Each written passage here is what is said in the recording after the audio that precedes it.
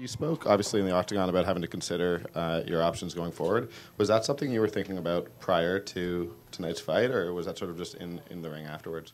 Um, you know, this has been a long career, so you obviously think about things here and there, and um, you know, throughout time, and it's always kind of gauging how you feel in practice is the biggest thing. So. Um, I've always prided myself on, on being a guy that doesn't take much damage in fights, and, and tonight I got caught a couple of times. It's you know not characteristic of me, so you got to give credit to Cruz for that, but also consider you know myself as as a as a guy that just turned 37 and, and in a tough sport. So, um, you know, it's also consider I was coming down from 163 from this thing, so uh, you know if if I do take another fight at 45s possibly.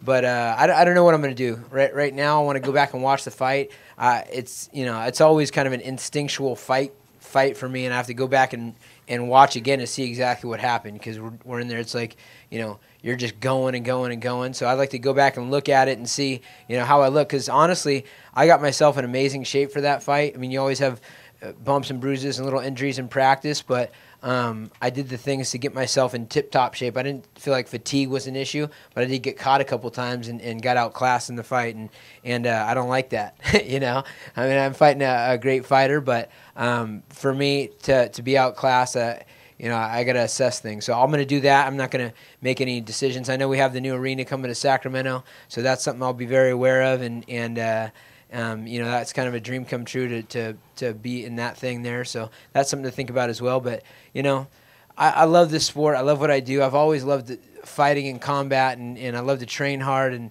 uh, but I want to be at my best.